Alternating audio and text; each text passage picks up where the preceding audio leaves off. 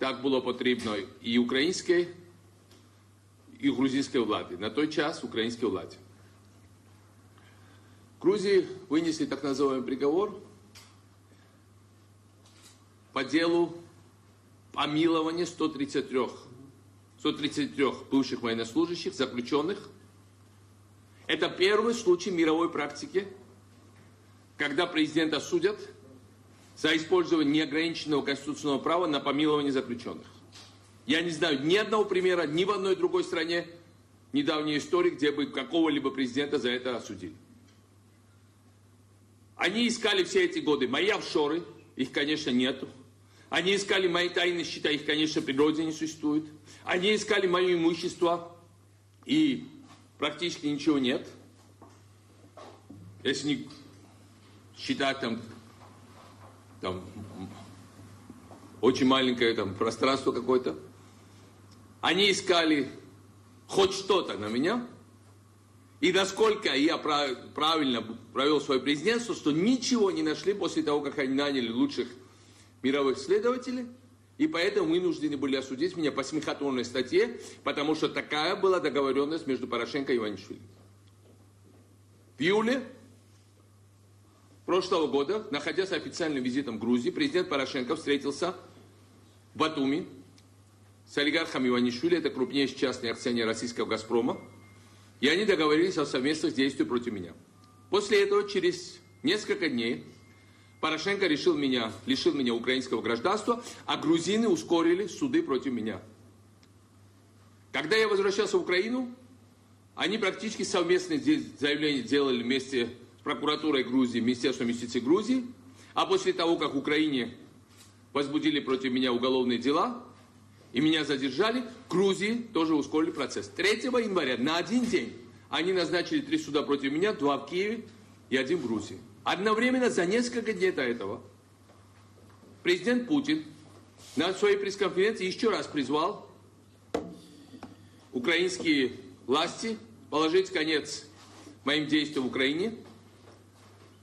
Об этом же заявляли российские официальные лица на уровне спикеров президентов, президента России и президента и министра иностранных дел, некая Захарова. А 29 декабря, по моей информации, состоялся телефонный разговор Путина и Порошенко, где наряду с вопросом обмена пленных президенты двух стран обсудили и мой вопрос. Причем по инициативе президента Порошенко. То есть все, если кому-то что-то надо доказывать, абсолютно все налицо. У нас есть говор олигархов двух стран, и у нас есть прямая заинтересованность Кремля и Москвы. Это не мои теории, еще раз говорю, президент Путин об этом 12 раз сказал на последней пресс-конференции. Еще в 2008 году, после того, как он был в прострации, что он не смог победить Грузию и разрушить Грузию в результате вторжения российской армии, не смог взять Тбилиси, он тогда сказал, ладно, мы не взяли Тбилиси, он и Медведев это говорил. Но придет время, и в Грузии будет власть, которая сама засудит Саакашвили. Я хочу сказать, олигархи, олигархический сговор против борцов, против олигархата и коррупции совершенно очевиден.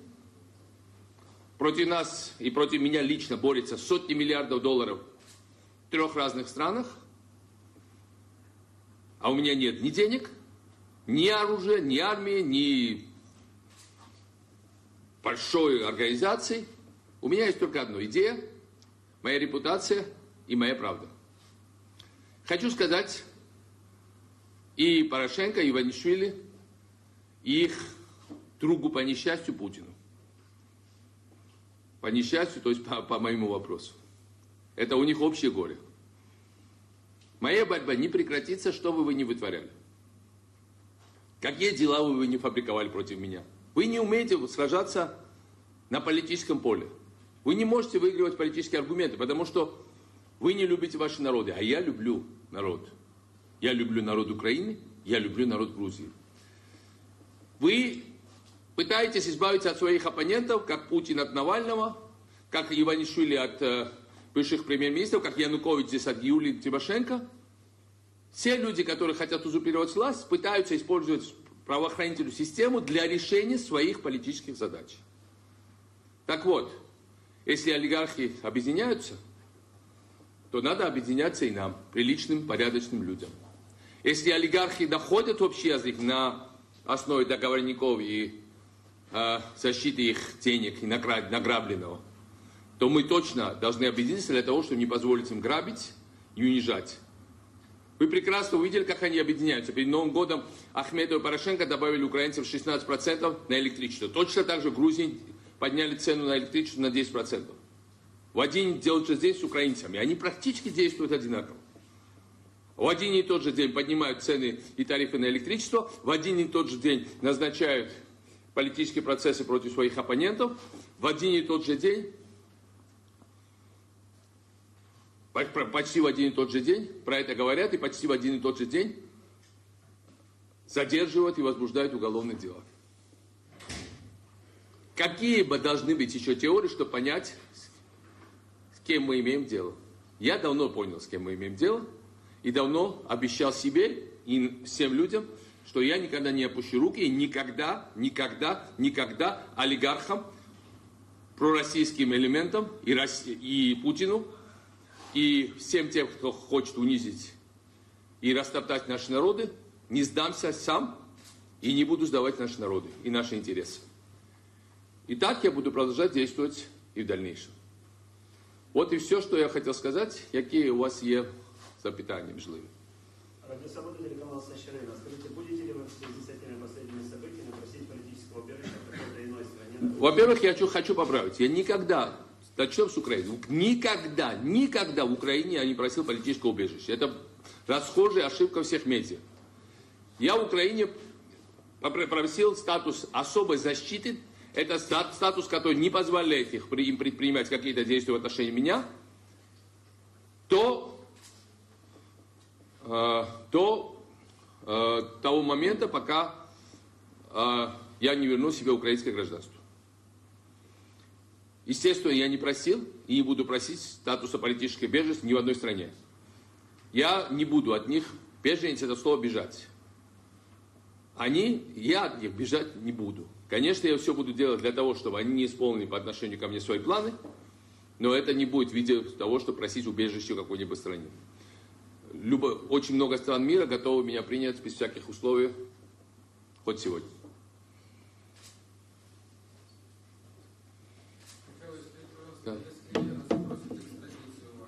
экстрадицию они уже запросили, и украинская власть э, э, шаги в этом направлении делает. Они всячески замедляют процесс, когда по фальшивым документам, точно так же, как по фейку возбудили против меня уголовное дело, по моей фальшивой подписи, фальсифицированы, сфальсифицированы в стенах администрации президента, Порошенко лишил меня гражданства. Этот процесс по восстановлению моего гражданства всячески откладывается, а процесс по депортации ускоряется. Согласно Конституции Украины и законам Украины, постоянно жители Украины, чем я, кем я являюсь, даже если считать, что я особо без громадянства, что юридически очень спорно, но никто не может оспорить факт, что я постоянный житель Украины. Постоянного жителя Украины нельзя экстрадировать в другую страну. Однозначно. Это законы Украины. Но, сказав это, я хочу сказать, олигархам законы не писаны.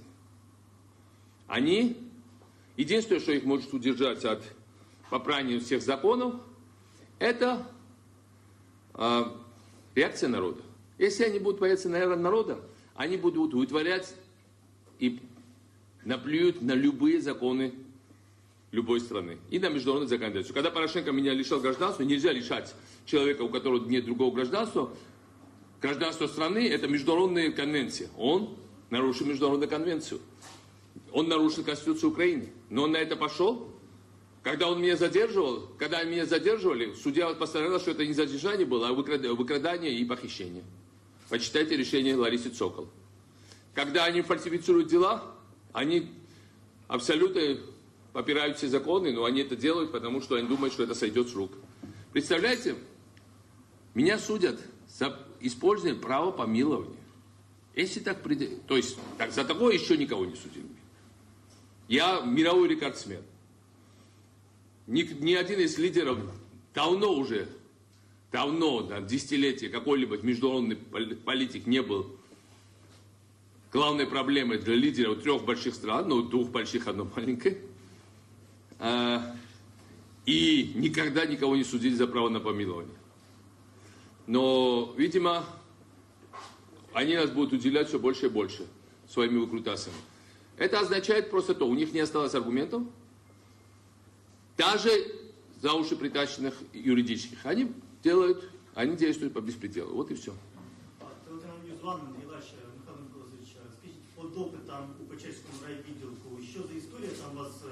Меня должны были сегодня допрашивать, но, видимо, еще какой-то ум у них есть в МВД.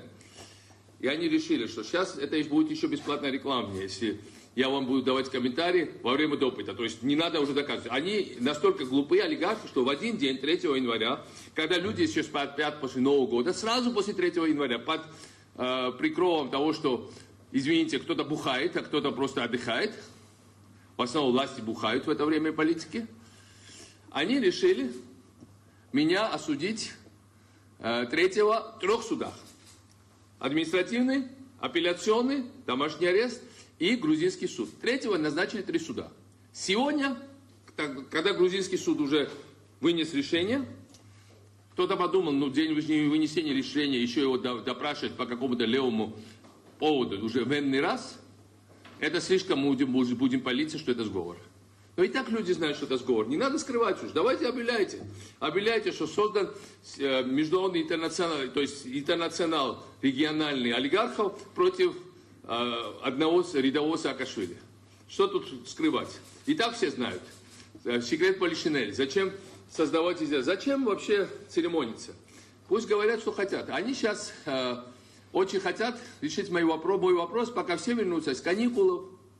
Все будут уже там, сейчас кто на Мальдивах из политиков, кто там э, э, на, э, кто там в Таиланде, кто там, кто беднее в Египте, начинающие коррупционеры.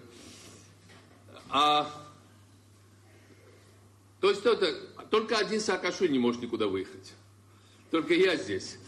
А, так же, как э, у всех по 2-3 паспорта, паспорта. А единственный украинский политик, который был только украинский, и то его, его лишили. Так что, э, так что на самом деле это было бы очень смешно, если бы это не было все так грустно. Потому что я увидел на основе, когда меня затаскали по этим э, кабинетам, по допросам, по процедурам, по, я сдавал там много раз отпечатки пальцев, меня фотографировали в анфасе профиль. Я понял, через какие унижения проходят обычные граждане каждый день. Кстати, в Грузии, слава богу, вот суд я не смог реформировать, но вот эти административные процедуры мы четко реформировали. А, и, и просто, а кто в Грузии мне мстит? Воры и жулики, которых мы отстранили от власти. Вот и все. Ну, естественно, одного судью купить не проблема для миллиардера, у которого там 7 или 8 миллиардов долларов. Какая проблема? И который контролирует власть в стране. Но, но все это знают.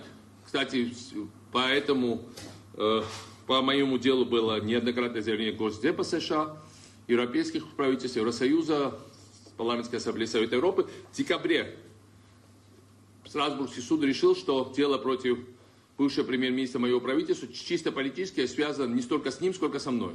Это месть против меня. Это решение Европейского суда. Э, по-моему, ноября прошлого года, если не ошибаюсь. Что-то конец ноября прошлого года. А, так что мир все прекрасно знает и замечает. Они просто держат и население Украины, общество Украины, граждан Украины, граждан Грузии за лохов. Они считают, что мы терпилы, мы все стерпим, мы все проглотим, мы все сховаем, мы, э, нам будут глаза что-то делать, а мы это будем считать, что это Божья роса. Вот на что рассчитывают олигархи власти. Я думаю, что это все временное иллюзия заблуждений. Они, пробуждение у них будет очень жесткое и горькое после всего этого. Похмелье не после январских праздников будет жестким. После многих лет крадежа и э, унижения народа. Вот это будет тяжелое похмелье, точно. Які ще один? Так. Можливо, по акціям протесту щось повідомити чи По запланувати? акціям протесту я казав, що ми маємо е, координувати всі опозиційні сили. Я не думаю, що окремо ми маємо що зробити, якщо спочатку ми не будемо розмовляти з всіми. То щоб ніхто не говорив, що це Міхомайдан, це там е, підтримка Саакашвілі. Ні. Підтримуйте український народ. Не будемо говорити про Саакашвілі. Про Саакашвілі досить наговорився я сам. Зараз про що я говорю? Треба говорити. Ми чекаємо е, їх, коли вони з відпочинку і з відраджені повернуться. Я не знаю, ну бі- більшість з них, е, як і влада, вони їх немає в країні. Тому влада витворяє те, що витворяє. А вони там штурмову групу залишили, саме поїхали. В країні немає ні президента, ні генпрокурора, скільки я знаю, ні інших, ні, ні інших керівників різних, ні міністром внутрішніх справ, і не більш, більшості парламенту. От і все. Тільки ви залишились і ми, і ваші телеглядачі. От і все. Чим я вас вітаю. Так, будь ласка. Хотіла вас запитати, є інформація ЗМІ, що буцімто ви збираєтесь переїжджати в Нідерланди і там е, ну, проживати. Е, Прокоментуйте цю інформацію, і якщо все-таки ви залишаєтесь в Україні, які ваші кроки подальші? Я мог би переїхати. Так.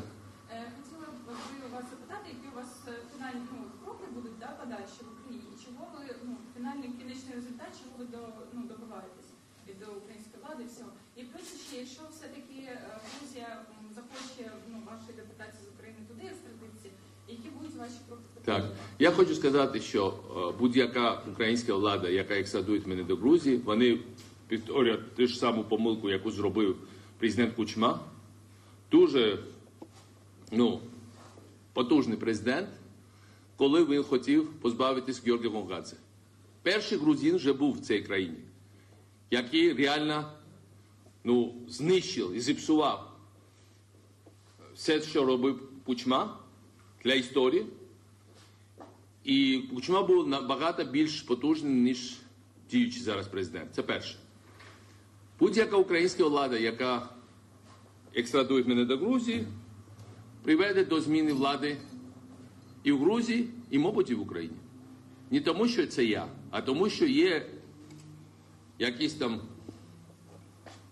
межі несправедливості, які люди можуть витримати. І це не тільки Саакашвілі. Це Ірина Ноздровська, це всі ці це добробати, які зараз в в'язниці, це корупція, яка вбиває, знищує українську державу.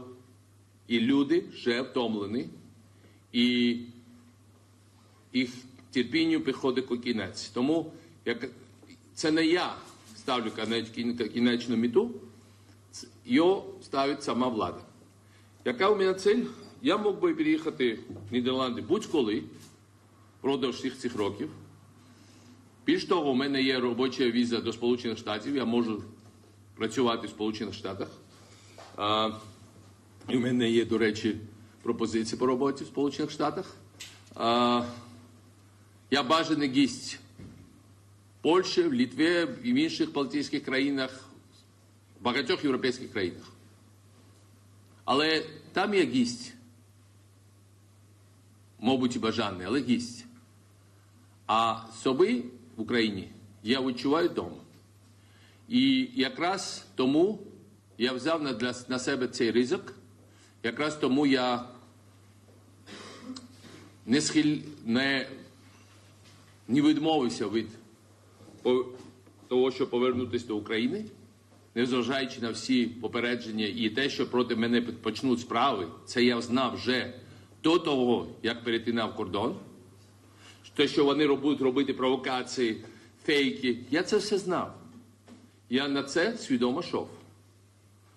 І я йшов не тому, що мені нема де залишитись, чи нема де заробляти собі на існування, я не знаю.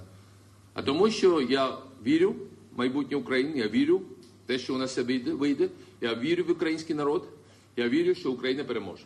От і все. І це не патетика. Я доказав своїми діями, що я так реально. Я переконаний в цьому, я в цьому напрямку роблю всі кроки. Але Чим, чим більше я дію, тим більше супротив. І ми всі побачили. Я не знаю, наскільки далеко вони підуть. Вони підуть до кінця. Щоб зберегти свою, своє корита, вони будуть битися до кінця, але до їх кінця. Але до, до, до, не до нашого.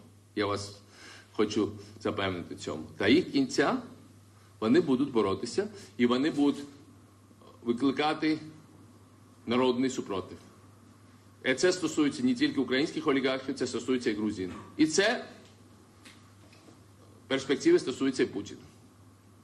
Не випадково, що російські, ви, ви порівняв російських опозиціонерів і саме Навального зі мною. Не випадково, що російська опозиція рекламує на своїх сайтах мої виступи. Це є так, така опозиція, яка каже, що Крим це Україна, до речі, і яка проти імперських амбіцій. Не випадково, що вони бігають по вулицям, всі як протест, протестний там, рух з моїми там обличчями. Це все бачили, може, на лентах. Це тільки показує, що ми на правильному шляху. Ця імперія московська, вона обов'язково припинить своє існування як імперія. А наші країни будуть реально вільними від російського впливу і від олігархів. Що б вони не робили. То в моєму випадку вони повні союзники. Які можуть бути запитання, коли вони реально синхронно діють.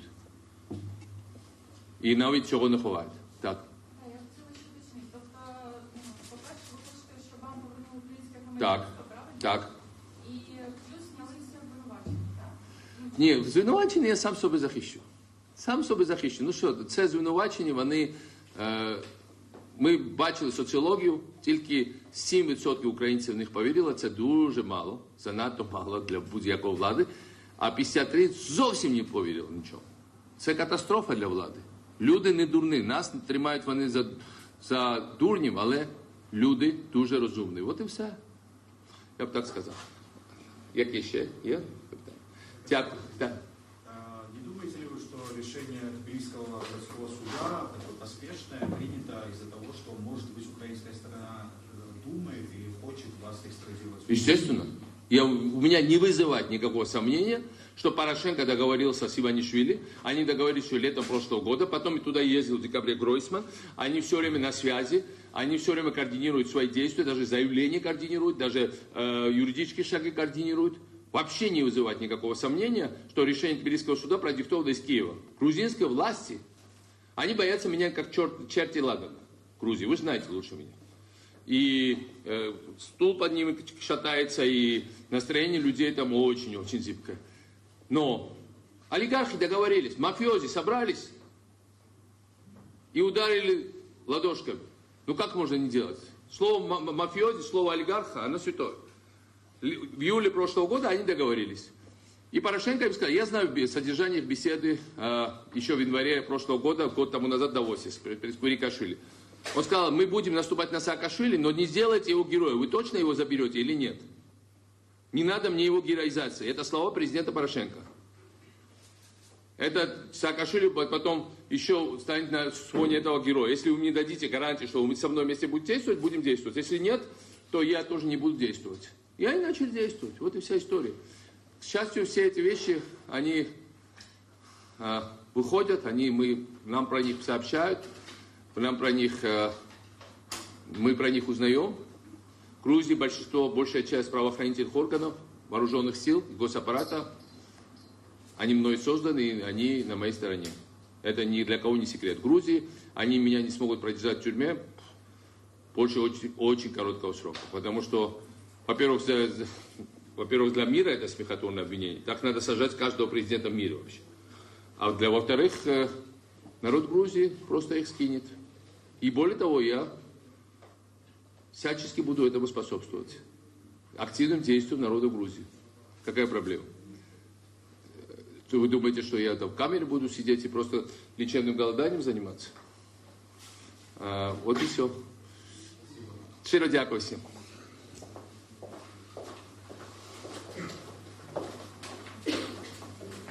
всім. Саакашвили